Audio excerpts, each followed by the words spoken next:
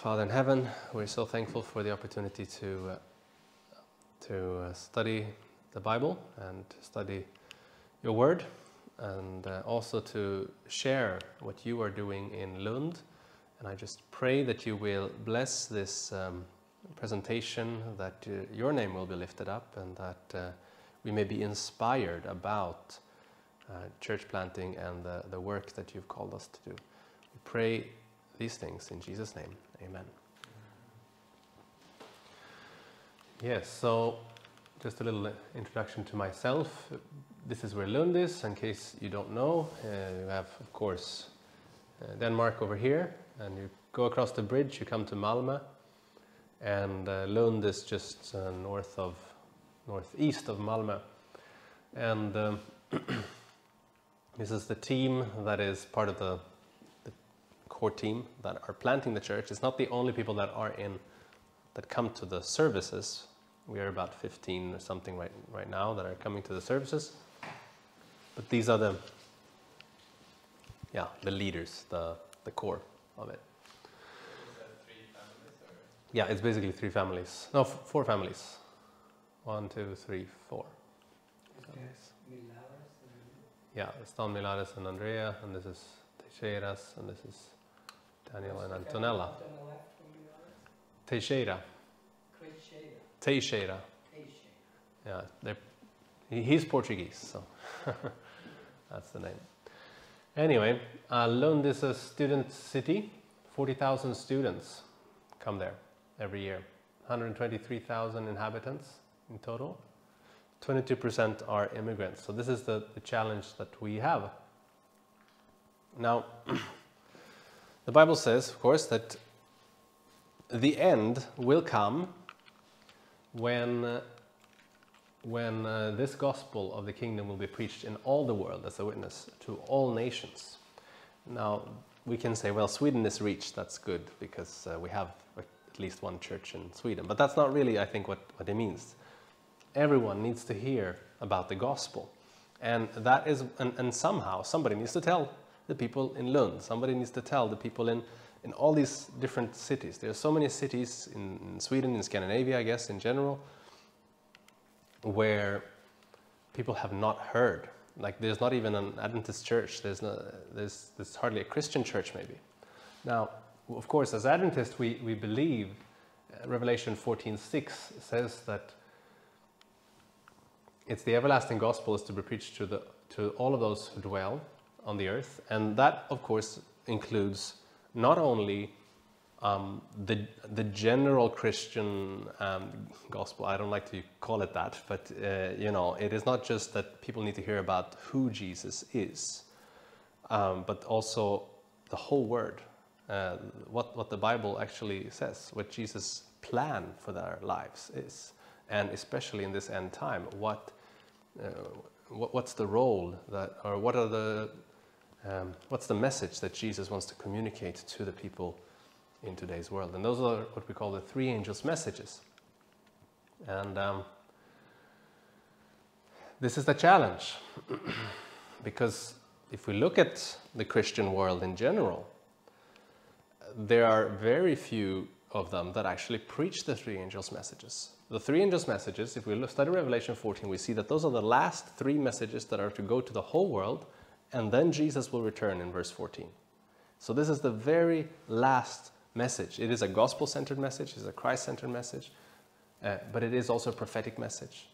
And this prophetic message is um, not uh, communicated by the, the, uh, the majority of the Christian churches. To my knowledge, it is basically one organization that is doing that. That doesn't mean that organization is perfect, but these are, um, these are the ones that are called for this. And um, the Seventh day Adventist Church, of course, is doing well. We have, um, it's one of the fastest growing Protestant churches in the, the world 20.7 million. This is from 2017. Um, we have a presence in 213 countries out of 235. This is really amazing. A thousand languages. There are 1.3 million new members every year. Now, that's amazing, isn't it? it, it it's really powerful 158,000 churches or companies exist. We have 20,000 ordained ministers, 8,000 schools, 100, uh, almost 200 hospitals. We have ADRA in 130 plus countries. So if we look at the Adventist organization, it's, it's, um, it's an amazing organization in many ways. And we might say, well, yeah, Jesus is coming soon. However, when we compare that with some other world statistics, we realize that there are 7 billion people in the world. There's 130 million births per year. Now, if you compare that with 1.5 million new members per year, and there's 130 million births per year, you will realize that we're not really making progress so much as we hope. If Jesus is going to come and the whole world is going to hear about the third angel's message, okay, sure, we, there might be more than 1.3 million people that hear about it, but still, it is, we have a lot of work to do. Is that right? Now, there are 5 billion non Christians, 1 plus billion are nominal Christians. Uh, yeah, they claim to be Christians, but they have no devotional life, they have no no connection with Christ. So Christ gave us the commission to go to all the world and preach the gospel. And when we look at this task, it might feel very daunting. We might feel like, whoa, how is this ever going to happen? Um, but if we look at the early church, we can actually see that they managed to do it in their generation. And how did they do that? Well, um, in Luke chapter 10, Jesus said, The harvest truly is great, but the laborers are few. Therefore, pray the Lord of the harvest to send out laborers into his harvest. So that's what we're praying for, praying for laborers. But we're praying that the laborers will be sent out. Now, the word sent out, in Greek, it is the word ekballo. Ek means out, ballo means to throw. So this is the same word that is used when you know Jesus is casting out demons or uh, other other uh, things like this when you actually throw something. Um, so when it's saying send, you know, it sounds like formal, some some kind of sending, but this is actually thrown headlong into service. They're thrown out there, thrown out of the comfort zone. They're they're they're spread out into the harvest fields. That's what we should pray for. It's it's not and you know, Jesus said, "Go into all the world." He didn't say, "Sit and wait until people come and ask you." This is an active um, commission, and of course, the early church they really took this seriously. If you look, if you study Acts, we don't have time to go into all of this right now, but in Acts chapter eight and verse one, there was a great persecution that was spread and all except the apostles uh, they went out to preach, or they went out to different nations. And then it says in verse 4 that all of those who had been sent out, they actually started to uh, preach the gospel. So all of them, every member was involved in, in this mission. And if we study Paul's travels, we see he was going places. If you study the history of all these apostles, they didn't just stay in one place. They went out. They went to India. They went to Africa. They went to Britain. They went all over the, the whole Roman Empire and beyond the Roman Empire. Some people even, even think that it, it reached all the way to China. And that is actually in Acts chapter 17. Uh, the Christians are blamed for this. It says that these who have turned the world upside down have now ha, have come here too. They really turned the world upside down. They transformed the world. And how did they do that? First uh, Colossians, we can look at that one. In just one generation, uh, maybe someone can read that. Colossians chapter 1 and verse 23.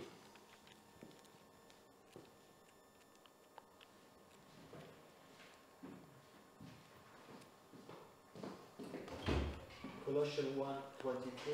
Mm-hmm. Continue in the faith, grounded and settled, and be not moved away from the hope of the gospel which you have heard, and which, have, which was preached to every creature which is under heaven, hmm. whereof I, Paul, made a minister.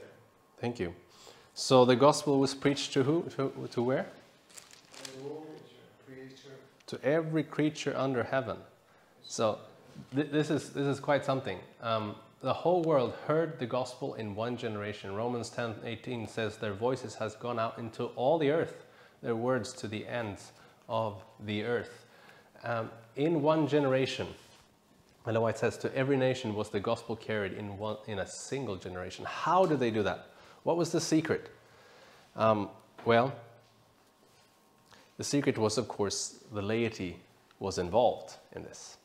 And they had a clear understanding about what the pastor's role was, which we'll study a little bit here. The same thing is true for our days.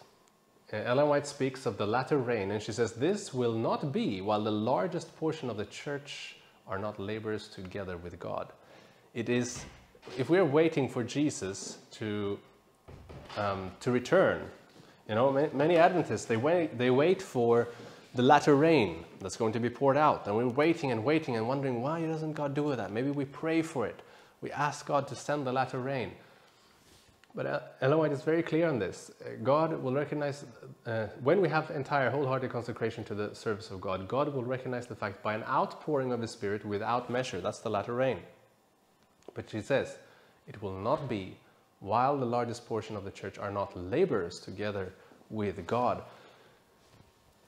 Every member, uh, or it doesn't say all members maybe, will be doing it, but at least the largest portion, that's at least 51% or something like that, uh, that needs to be involved in active missionary service if we are to expect the latter rain to fall. So you can think about it, we've probably seen this super evangelist versus discipleship method. If we have a super evangelist that reaches 1,000 souls per day, um, that's a quite a good, a good evangelist, right? If we have one, uh, they reach 1,000 souls every day. So in one year, they have reached 365,000 souls, baptized 365,000 souls. That's that's what we need. When many people look at the pastor as, yeah, this is what we're going, what we really need. Some super pastor that goes out there and does the work and, and finishes it. Um, then we have another method called the discipleship method, where you take one person and you win one soul per year. Now, that's maybe nothing compared to the super evangelist.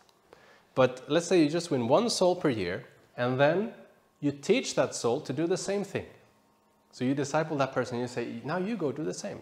Reach one soul for the kingdom of God. And they do that, and then it starts multiplying. Now, how long until the whole world is reached? Well, you can do the math. After about after the two years, of course, you have um, after, yeah, after one year you have two souls. Then you have, you have four souls after two years. Then you have uh, yeah, and, and the super evangelist here, he's just taking off like nothing. But after 17 years, something starts to change. In year 18, you see things, you see this little curve is starting to exponentially grow because this is an exponential curve. And uh, the closer you get, how long until they actually reach the same amount of people? Uh, 23 years. That's where it cuts. 23 years if we follow the discipleship method. There's still only the winning one soul per year, not not 100,000, not uh, 10, not no, one soul per year, and teaching that person to do the same. And now, of course, this is theory. But what happens after after 20? It's a 22 years actually. Yeah, 22 years, I think. 23 years, then you have this. It just takes off. After 32 years, every single person is an Adventist in the whole world. So can this done, be done? You know, we looked at the, the dis discouraging statistics before, and we thought, oh, this is impossible. It's not impossible. With God, all things are possible. But if you just look at it, study this method, that every person, now imagine this is if one person starts doing this. Then after 32 years, if he succeeds in doing that, the whole world would be reached. Now what if, what if 20 million people did that? then how fast would Jesus return? Yeah, and so this is my encouragement to, to us. And a big hindrance um, is that we have, have a wrong conception about what the pastor's role is. And that's why I want to talk about this in this course. You might say, well, I'm not a pastor or anything like that, but this is really important for every single um, church member. If you turn to Acts chapter 6, we see the key, or yeah, we'll study what the Bible actually says concerning the pastor's role. So, Acts chapter 6, and um, verse 2 to 4.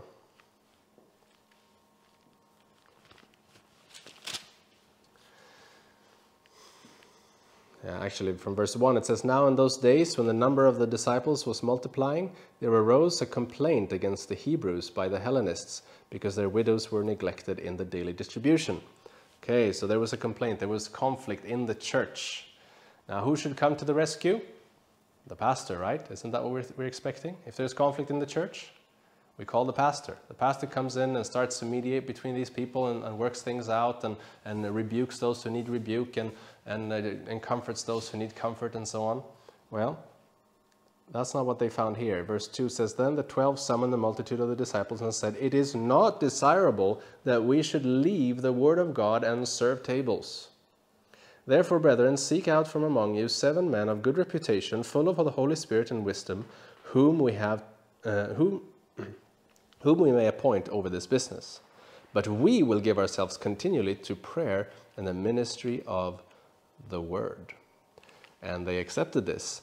And if you notice what happened in verse 7, it says, Then the word of God spread, and the number of the disciples multiplied greatly in Jerusalem, and a great many of the priests were obedient to the faith. So, was this a good plan? This was a very good plan. Instead of the pastor focusing, the pastors focusing on what, um, on the conflicts of the church, they said, no, we have to leave this to other people. And then we go and we reach souls. And we, we follow this discipleship method. We multiply disciples. In, in 2 Timothy chapter 4, verse 5, Paul says to Timothy, who was a pastor in, in one way, But you be watchful in all things, endure affliction, and then he says, Do the work of an evangelist fulfill your ministry. That is what a pastor is. He's supposed to do the work of an evangelist. Now, what's an evangelist? If you study Acts chapter, if you uh, study the whole book of Acts, you see in Acts chapter 8, there is one person called Philip. He was actually one of the deacons here. And it's an interesting topic to study because he began as a deacon, but he ended up as Philip the evangelist. Isn't that true? He went from city to city and he baptized people he, he, he raised up churches and so on, and then some other people came up and, and did follow up work of what he was doing. But that's the work of an evangelist to go out and reach unconverted souls. 1 Timothy 4 says the following.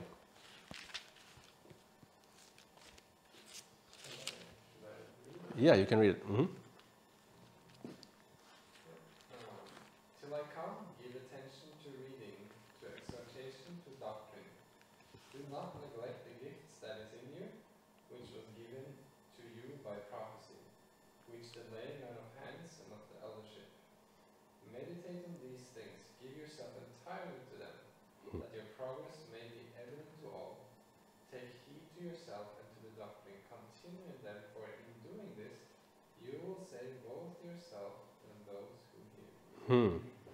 So you see this? Paul is again addressing Timothy and he's saying, Give yourself entirely to these things.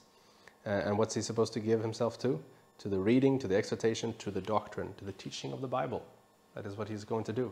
Teach the Bible to people. Um, and don't neglect the work. So, yeah, give yourself entirely up to this work, he says and then you will save yourself and also those who hear you. So this is the, the idea. And of course, there is another role or another uh, job for the pastor found in Ephesians chapter 4. Ephesians chapter 4 and verse 11 and 12. Uh, yeah, does someone else have that one? And he gave some apostles, and some prophets, and some evangelists, some pastors and teachers. And including 12? Uh, up to 12, yeah. hmm Including 12, sorry. For the perfection of the saints, for the work of the ministry, for the edifying of the body of Christ. All right.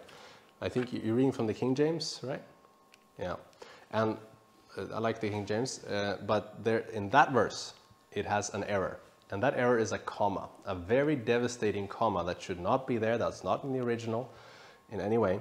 And most other uh, texts are um, translated in a different way. He's speaking about apostles, prophets, evangelists, and pastors and teachers, these leadership roles. And what, is, what are they to do? Well, they are to equip the saints, and then it comes to that comma, or the perfecting of the saints, and then it says comma. Uh, but it shouldn't be. It says, for the equipping of saints for the work of ministry. That is, they are to equip the saints to do the ministry. Does that, does that make sense? That's what this says. It doesn't say that, yeah, they should be equipping the saints and then they should do the ministry. No, it's the members that should do the ministry, but they, the, the pastor is supposed to equip them to do that ministry. So if you, if you look at any other translation, it will, it will translate it uh, like that. So that is actually the pastor's job, to teach people how to work.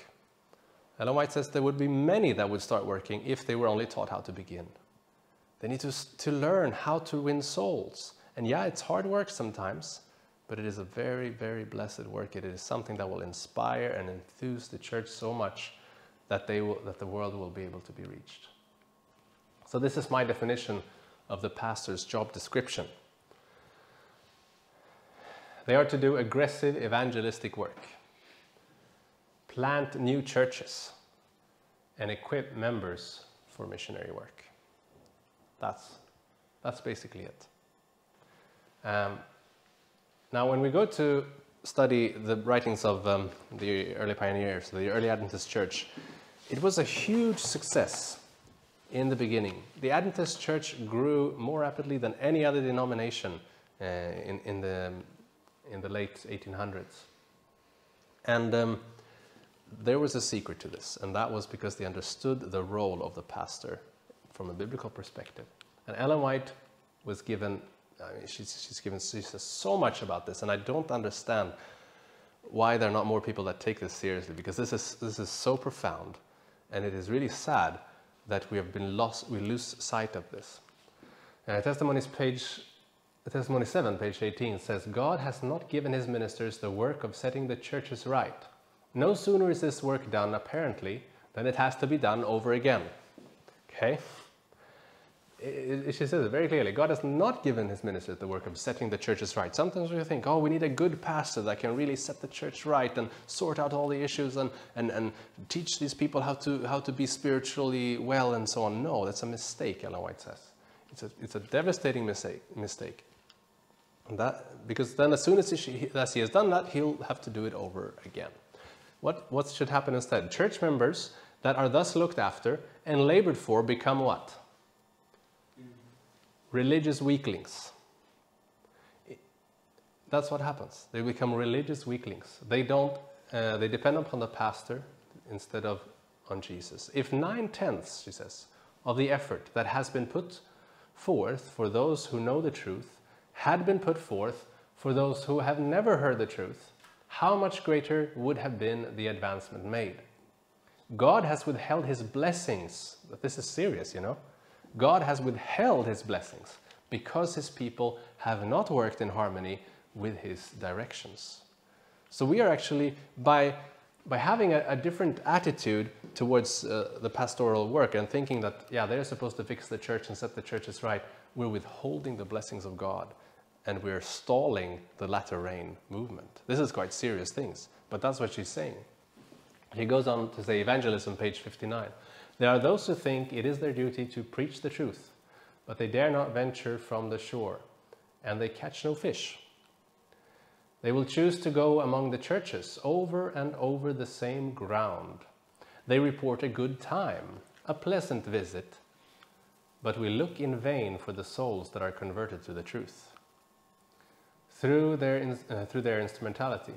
These ministers hug the shore too closely. Let them launch out, that's the ekballo, thrown out, be thrown out into the deep um, and cast their nets where the fish are. There is no lack of work to be done. There could be hundreds employed in the vineyard of the Lord where there is now one. Have you heard that there is a lack of pastors? And you know what that usually means when a, when a church member says that? They say, We don't have a pastor, right? Oh, our church doesn't have a pastor. I, I travel around in different churches and, and they, they envy other churches. Oh, that church has a pastor. They, they can do so much work. And, and they even say, you know, we don't even have a pastor. Stuff like this. You always hear it when people are talking about the deplorable situation of the church. And we need to educate more pastors so that they can come and, and help us in our work. This is not the purpose of the pastor. And we are totally wrong in our picture of what the pastor is supposed to do. Send them out where the fish are, send them out into the unreached places. Evangelism 382.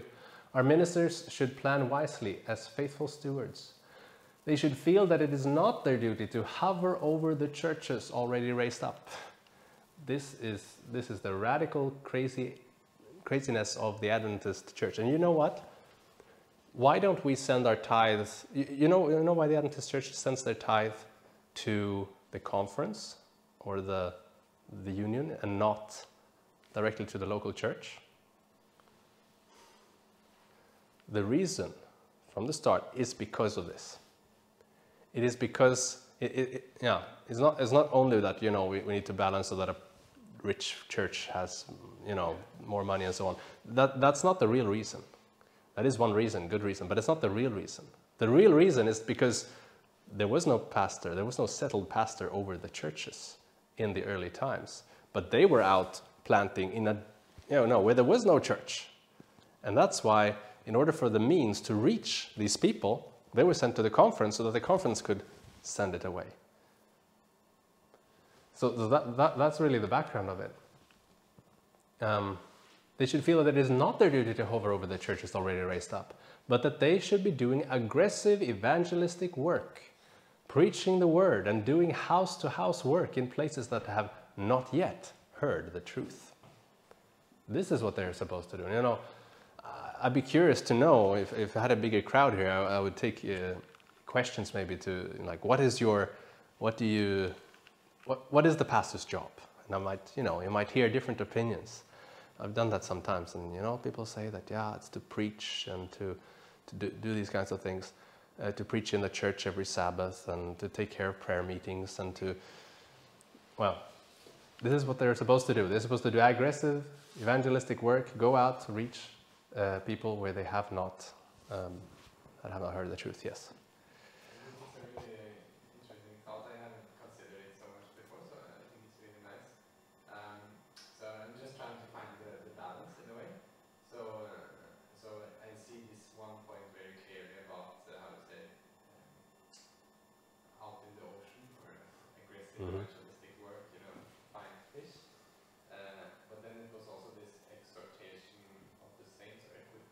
Equipping of the saints. We'll get, yeah. Uh, so this is one element of kind of teaching and equipping church members yes. to work.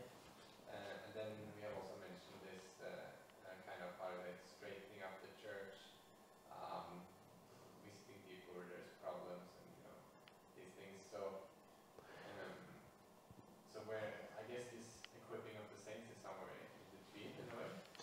How would, how would you like how much Well, yeah, that's a good question. Like, how much, where's the, where's the balance with that? And I think uh, we'll, we'll get to that. I mean, if we just look at the ideal, it is that the, the pastors they raise up a church, and then they equip the members of that church, and they go on to another church, and they, um, you know, maybe they come for a visit. If you think about Paul, what he was doing, he was a pastor. We think, oh, he was a super evangelist, church planter kind of thing, not a pastor. That is what I think the pastor is supposed to do. You go to a church, plant it, you preach and, and you plant a church, you go move on to the next field, and then you come maybe and revisit it sometime and, and strengthen it and write letters and whatever to encourage it. Um, Ellen White says that if nine tenths of the efforts had been put forth, you remember that quote? uh, to the people that were unreached, then we'd have much better success. So maybe the balance is if you put one tenth of equipping the saints and then you have nine tenths in evangelistic work. Even though I think if you equip the saints well, then that then they can be part of the evangelistic work as well. So, so in a way, these churches that you say that say we don't have a pastor is maybe actually exactly how it should be. Yeah, we praise the Lord for them. 'Cause- We don't, in a way. Yeah, it's a new, It's a new thought, right? It's, it's, It's a radical idea, yeah. hmm We'd also have to define then the position of the elder and the pastor. That's true. And the, the elders have a, a, a large role in, um, in pastoring uh, the local uh, churches in, one way, even though, yeah, they shouldn't be paid for that, you know. that's, uh, that's part of their, um, and, and I guess that, that's the difference, because that's what the tithe was supposed to go to. Uh, in other con- conferences I, I've heard, um, in South America and places, they put 70% of the tithe into evangelism. Uh, in, in Sweden, it's, it's uh, 4%, you know? It's like, um, yeah. Now, it, it, it's just different, huh? Where is it? Percent. I, I forget where it was. There was an, another, I think it was in South America. s- I it was just came out of an evangelistic effort, Yeah? Honduras, where Mexico took their funds, sent 100 elders and pastors Huh. into Honduras, Wow. To train and to hold evangelistic meetings in places where it never was, Wow. and the results are tremendous. Right. I mean, that's how churches grow. You know, the church we belong to was once planted by someone. Someone went there and, and, and did this work. And that's why we're here. And then we think, yeah, this is how it always has been. Or, you know, we get that feeling. Mm-hmm. And like, why, why doesn't things happen more? Well, because we've forgotten this main core of what it means to be Adventist. to me, it's, it's, a, it's a core. Um, and uh, interesting, if you study the, the early Adventist um, pioneers, here's James White in Review and Herald. he says this In no way can a preacher so well prove himself as in entering new fields. If he, if he be successful in raising up churches and establishing them so that they bear good fruits, he gives to his brethren the best proofs that he is sent of the Lord. So this was actually something that pastors had to do in the early Adventist movement. They had to go out and plant some churches to, to prove that they, they were actually sent by God. And then they could be entitled to tithe uh, support and, uh, and those kinds of things. But it was, it was a serious matter. Now, even he goes so far to, as to say in the next paragraph here if they cannot raise up churches, then certainly the cause of truth has no need of them, and they have the best reasons for concluding that they made a sad mistake when they thought that God called them to teach the third angel's message. Ouch. Now that's pretty serious, but that was the attitude that the early Adventists had. If you are not part of, of planting a, uh, or a, if you can't plant a church, that's what he's saying. You're mistaken your calling. Sorry. Next one. Now, that's very radical. I don't know how, how to, I, don't, I don't think we could implement this in our church today, but, you know, I hope that we can try to get the same mindset back into our churches if we go hope to finish the work. Now, Adventism grew amazingly in the, in the late 1800s, and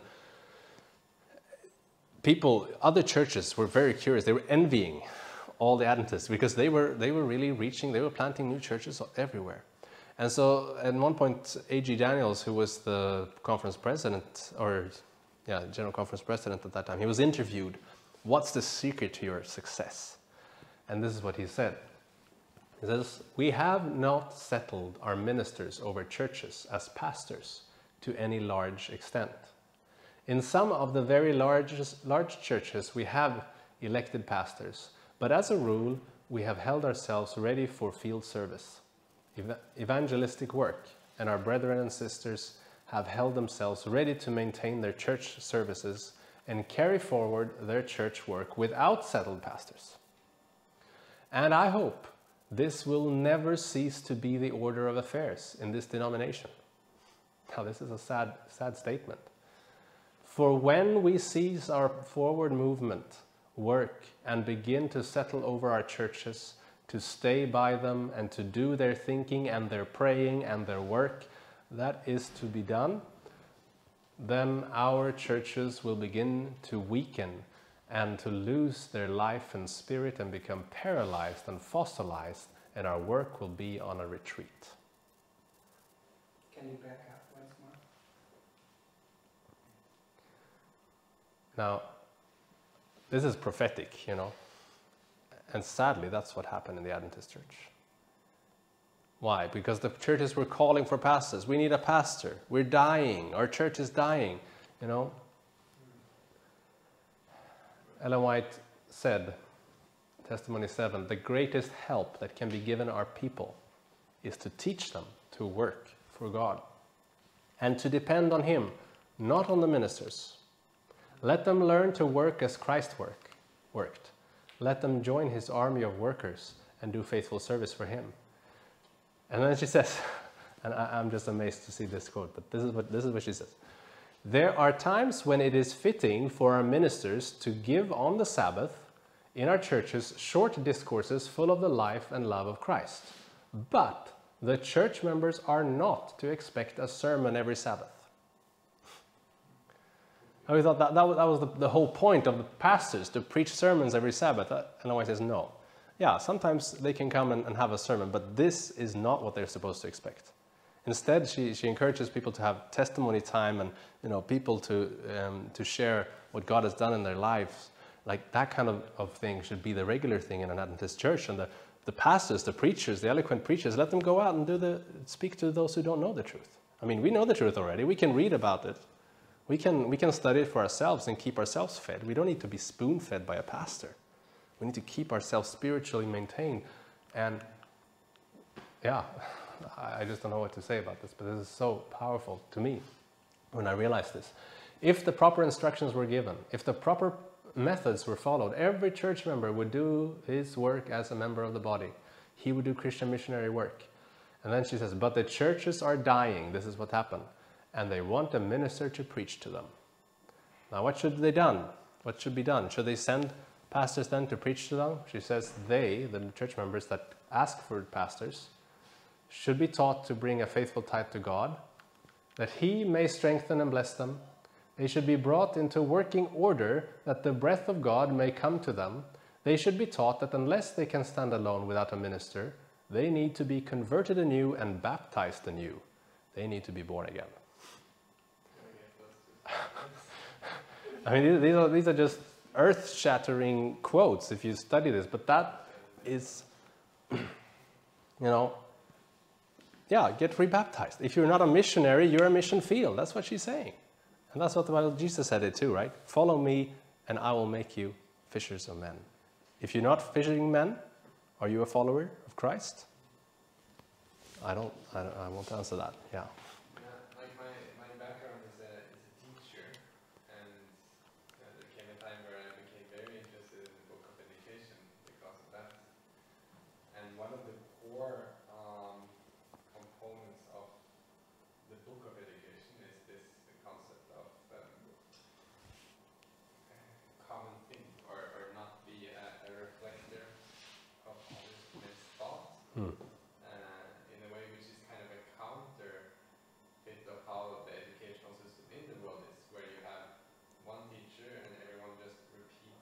Right. Uh, yeah. And now I start to realize, hey, this is kind of the church version of what I have seen in the educational world, right? Right. Where this is true education. Yeah, you can unleash power in people by making them think and, and act and do uh, when God is their teacher in a way. right.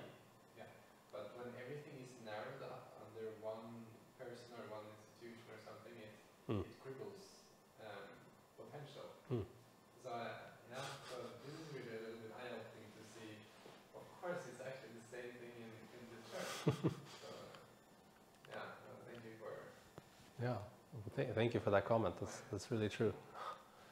Uh, this is another one. I mean, I could just read read for you all, all evening here, but I want to read this one. Our ministers are not to spend their time laboring for those who have already accepted the truth. Uh, there's so many of these quotes. With Christ's love burning in their hearts, they are to go forth to win sinners to the Savior. Beside all waters, they are to sow the seeds of truth. Place after place is to be visited, church after church is to be raised up. Those who take their stand for the truth are to be organized into churches. That's the equipping of the saints. And then the minister is to pass on to other equally important fields.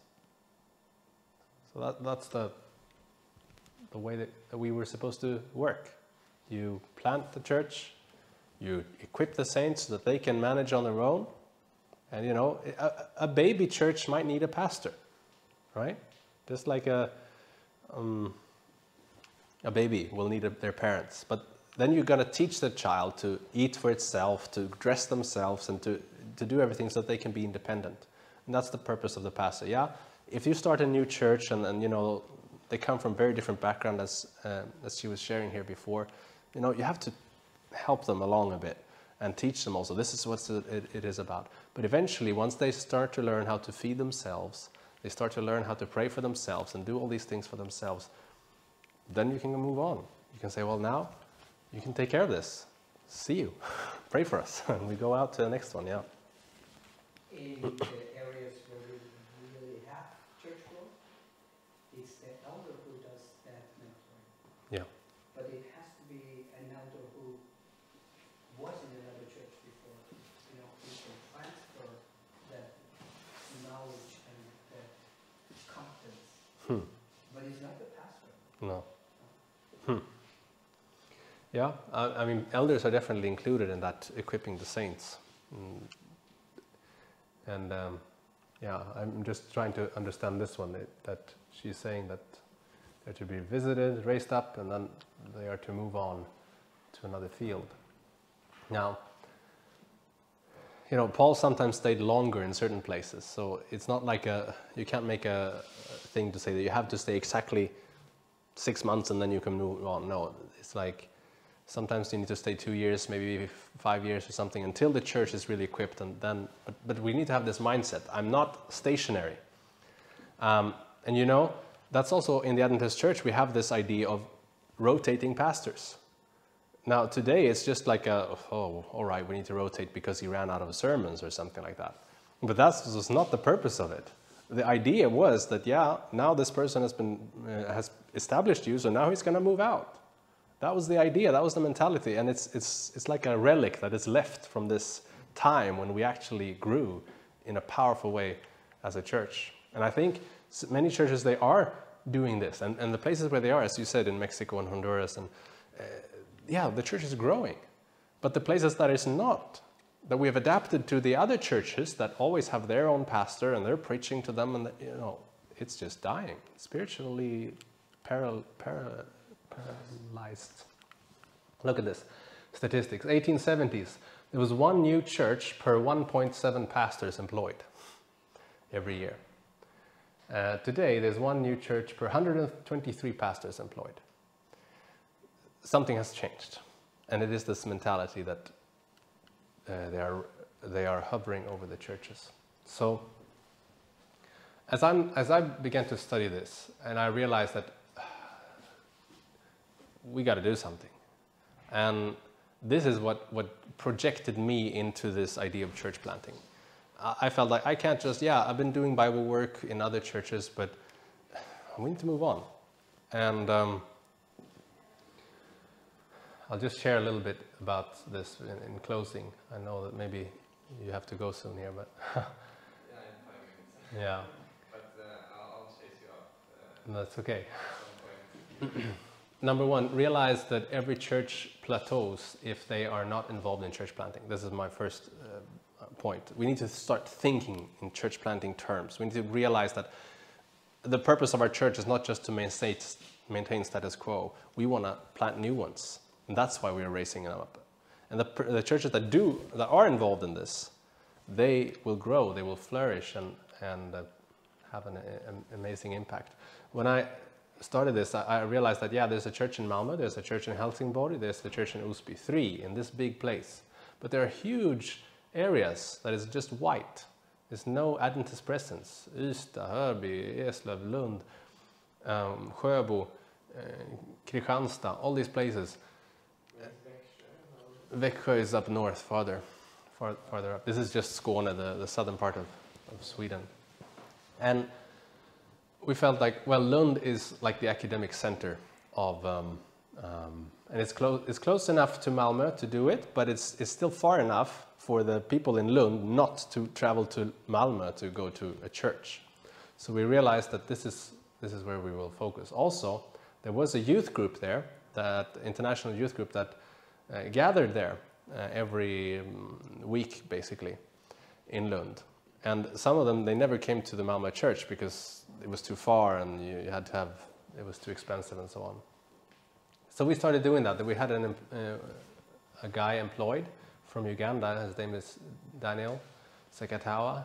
And we started working together. We did some evangelistic series. We did health expos and we had some results. We started having Bible studies. I was working full time, well, not full time, I was studying 25%, I was working 75% in Malmö at that time. And then one day a week I gave to Lund. So I couldn't really put my whole heart into it, but this burden started growing. He was, he was a Bible worker for half a year in Lund, and um, we started getting results. We even had a baptism of, of some people that we studied with up there. And then we realized that we need to do more. Uh, Daniel, this guy here, he had to leave for Uganda because of some um, immigration, um, the immigration uh, situation, and um, he, he wasn't granted a visa basically. So he, he was sent back, unfortunately, and uh, the church started to, to pray. They started to pray and say, Lord, we need to find some replacement. There's a work that has been started there, and who's going to take over? Now, I was still working, being stuck here in, in, uh, in Malmö, and I was, but I was preaching to them. Um, actually, the first sermon I preached in Malmö, when I came back there now, was I said, you know, I'm not going to be here all the time. And I even told them I would plant a church, in, I would be involved in, in church planting in, in, Lund at that time. And so they, they of course didn't believe me, in, in, like that's, but things started to change uh, after there was this work here. And the whole church started to pray for this. So every Sabbath after the service, uh, people gathered from the church and they prayed, Lord, um, send laborers, uh, like, the, like the prayer we read, right? Throw out laborers there. And they, we prayed for this for, for almost half a year, and uh, things started to change. God put the burden on these people's hearts. Now, these people, you've seen some of them here already, they're very active. And they're very active in the Malmö church as well. Actually, they were kind of the core of the Malmö church in, in uh, some ways.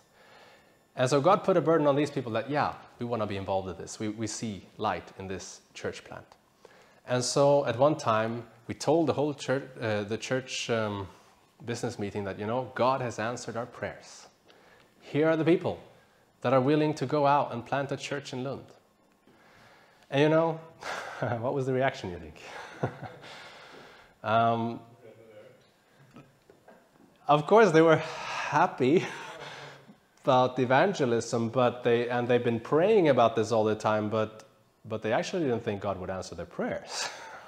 and they said that even. They said, yeah, yeah, I know we prayed about it, but, but, but, but you can't be going what's going to happen? Everything's going to implode. The Malmö church is going to crash. I mean, who's going to do this? Who's going to do that? Who's going to be the elder? Who's going to be? It, it's not going to work. You can't do this. I mean, we have to close the church in, in Malmö, and, and there was all these doomsday prophecies. Um, Bobby was there, the, the, the, president, and, and he tried to calm their fears and say that no, we'll, we'll still keep an eye out for you. And, you know, we had a plan. So we did an exit strategy. We, we worked on um, finding and uh, mentoring new leaders in that church. We found people and, uh, and, and prepared them for this. And when the nominating committee asked for this, they, they were ready. They accepted it. No problem. but uh, I hope you hear the rest of the story. Sure. And, uh, yeah, in the years to come, probably, since we are planning on doing what you guys are doing now, I guess, to talk more about it would also be very interesting. Definitely. We'll keep in touch. Thank you. So, That's the thing. Pick the most active members for your core team. That's don't pick the, the ones that oh these people don't really like the church. You know, sometimes there are disgruntled members. They're like, oh, nothing is happening in this church. I, I want to go to another church. Um, those are not the, the ones you want to have in your church plant because they will be just as disgruntled with the new church as they are with the old church. So you find those people that are really active, that are working hard in the local church, and you say these are the people we need. And then the other members that are disgruntled, when they realize that, oh, all of a sudden there's a huge need for my help. So instead of sitting warming the pew, I will have to go up and I'll have to actually do something. The Malmö church today is amazing. All many members that were never doing anything because there was always someone better to do it. All of a sudden they've stepped up. They said, "No, we need to do something about this. We need to uh, pull our acts together." And that church is thriving and it is growing. So it is healthy for that church and it is healthy for starting a new church. I don't think any church has ever died because of church planting. I have yet to hear about that. So we were elected as part of this team to go out. They sent us out, um, had a commission service. And we started uh, spending time in this building uh, on Saturdays in Lund. And we developed some values. And um, the other thing is we, we wanted to involve every member in mission work all the way from the start. We wanted to set it up as with this mindset that yeah, we we want to start a new church. Lund wants to start a new church. Yeah, we just started, but we want to think about soon we might leave and, and go somewhere else and do it. And we need to train every member to be an active part already from the start. So yeah, we started, uh, you just see some pictures here of the things that we're, we're doing when we're gathering there. Have Bible study, we have worship services, and we eat together every Sabbath. Um, Number four, my last point here is to adopt a strategic evangelistic plan. And that's also very important. You can't just start a church by taking some members from the old church and putting them in the new church and think that's your church plant.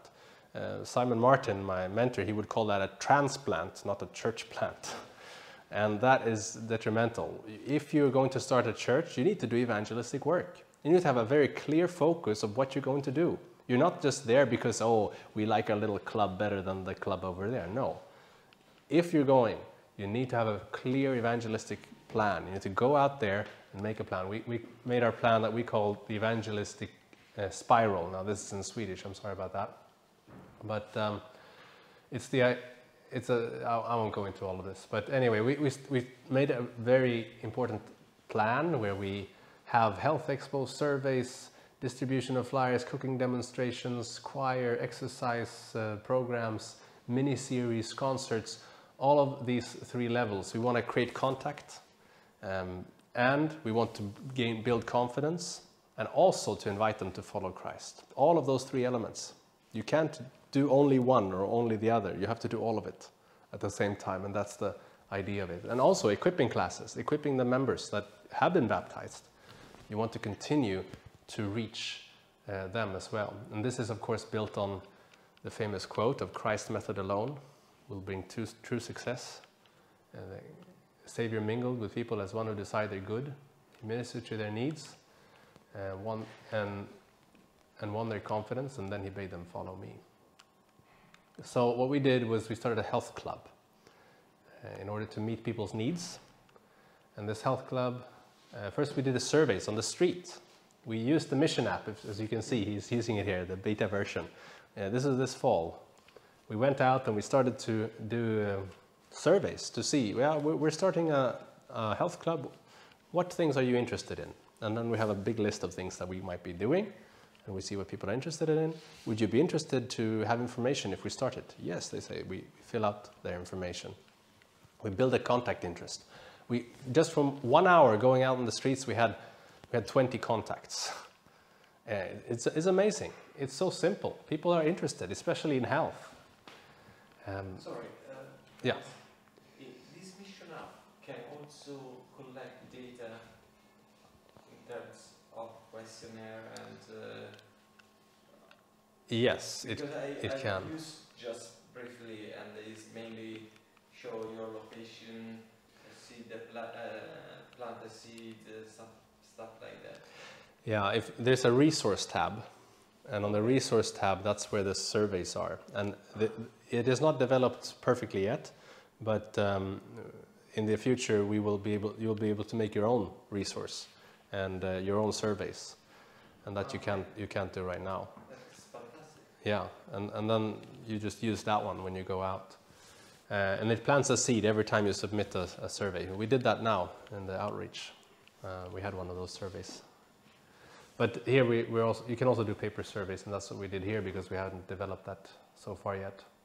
But still, just we had 42 people we talked to, 42 um, contacts, 20, uh, 20 contacts, and uh, three people that were interested in Bible studies, just from that one hour Wow.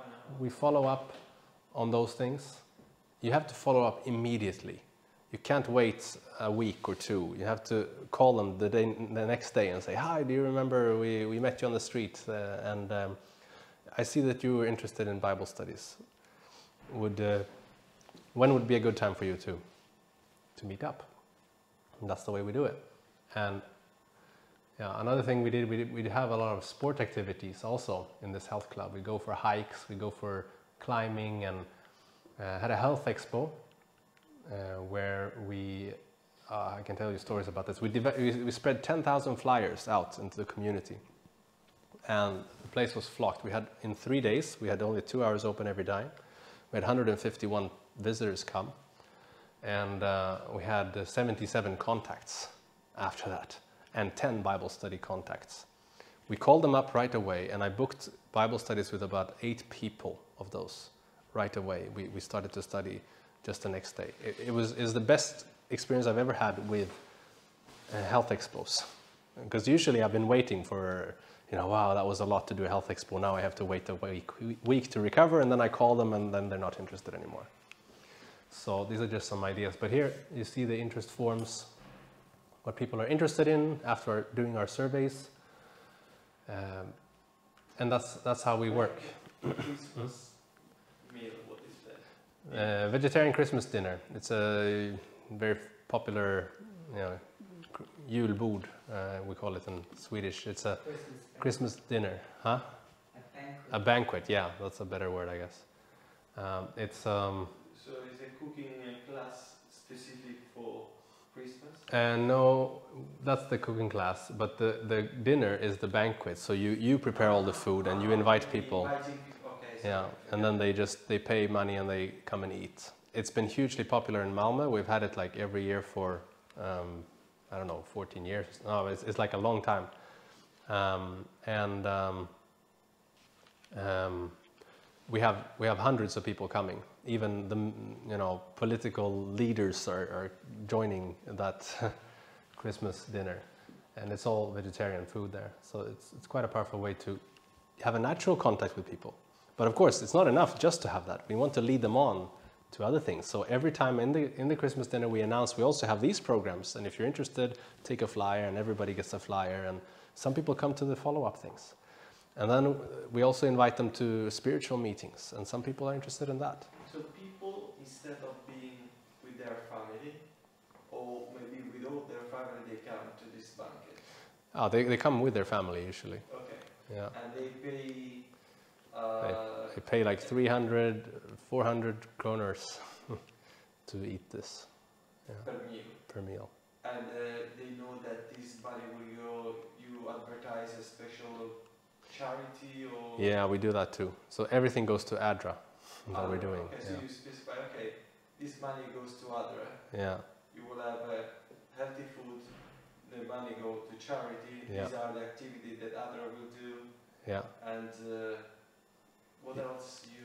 How it is during the banquet? There will be music or There will be music, message. not, not so much a message. There will be pamphlets about ADRA's work. And then in the middle of it, we, we also have an announcement to share a little bit about the Adventist Church. You know, that this, we're into health a lot and tell a little history. And um, that's why we're having a vegetarian uh, thing. And, and all, you know that all your money that you paid here goes towards the work of ADRA. And you tell a little bit about that. And that's it. So it's, um, it's, we don't want to be very invasive because usually people want to have their own thing, but at least something. They, they understand why we're doing it. yeah. Um, spiritual lectures, people are interested in that. Uh, Bible studies, you see, we had 18 contacts, and I'm studying the Bible personally every week with about yeah, 10 to 12 people every week, just from this fall's uh, work, uh, and that is all to the glory of God. You know, it's it's amazing to see how God has, has blessed uh, the health ministries. We, we use the health ministry as the right hand, and, and people, we, we, we, we also try to lead them to Christ through that. Um, cooking classes, my wife's making some food. And it's interesting, one of these people, this guy here, he came to a cooking class and we invited him to uh, an exercise program the day after. Um, or not the day after, no, the, a few days after. And that was a Sunday that, um, that he was invited to. It- quite early in the morning, we would go to a, a park there and we would run together. And he biked 40 minutes in uh, minus degrees just to get there. And uh, we, we went exercising, we went running. And you see he's sitting here also uh, eating breakfast with us afterwards. He just craves this uh, community uh, that, that we, we've created. And, that's our idea basically. We want to create a community um, that we would do ourselves, you know. We, we want to, we, these are the activities we like. So we do those activities and then we invite people to join us in that. So if you have a burden for, I don't know, bird watching or whatever it is, you, you do that. But just do what, what you like and, and then you invite people to join, but you also have an evangelistic um, edge to it. That, that's really important, that you see the big strategy. How does this connect to evangelism? How can this lead to Bible studies and baptisms? And it, that doesn't mean you sit and ask every person that comes if they want Bible studies, but you give them a chance in, in different ways, and you, you win, after you win their confidence, they're open to this. So, uh, he also came to a climbing thing that we had, uh, climbing event. So, and then we have mini series, which is kind of evangelistic series with um, that are short, um, and it's not harvesting campaigns, but it is a very effective way to find Bible study contacts.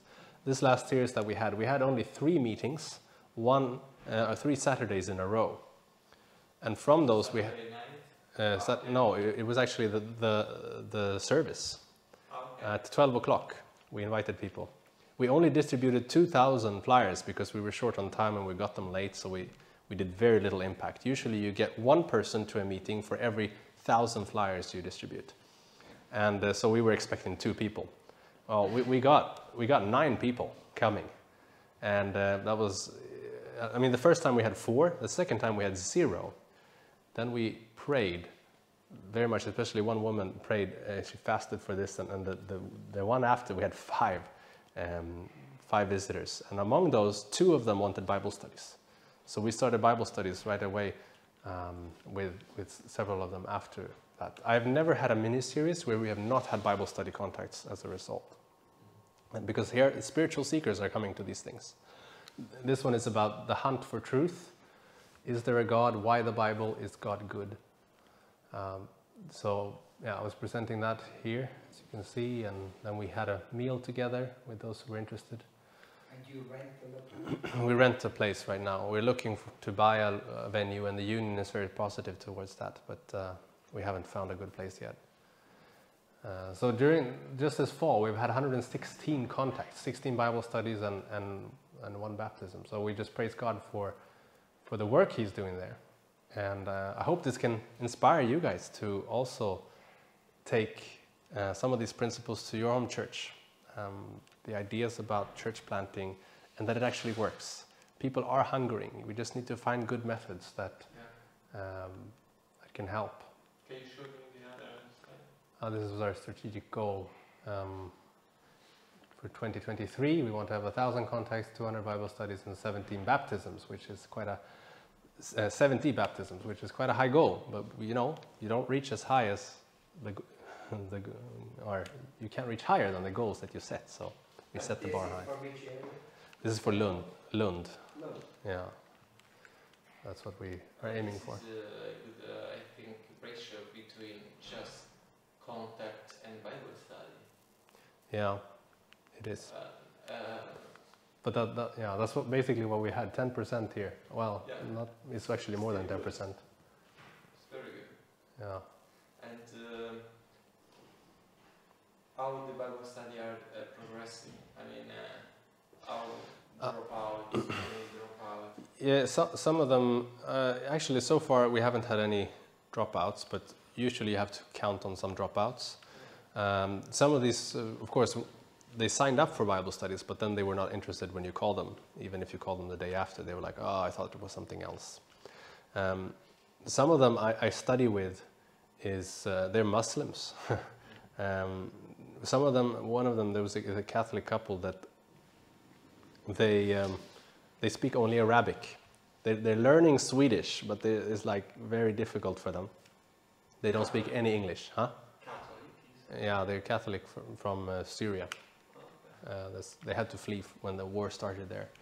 Um, and they wanted Bible studies, so I started to study the Bible with them, but I can't speak to them, I can't communicate with them. so God gave me this idea that, ah, order Bible studies from it is written in Arabic, so I did that. Uh, I had Arabic Bible studies. They read it to themselves, to the whole group. I just sit there and I, I flip on my English uh, phone. Uh, I mean, the same study in English, and then maybe I tell them some text to, to read, and we do some sign language, and you know, the Lord is blessing. I, I did that with some people in Malmö, in um, that we spoke um, Farsi, and uh, we had we had uh, four baptisms as a result of, of that, uh, just uh, studying um, through this way. So I believe that you know we can be creative where where there is hindrances.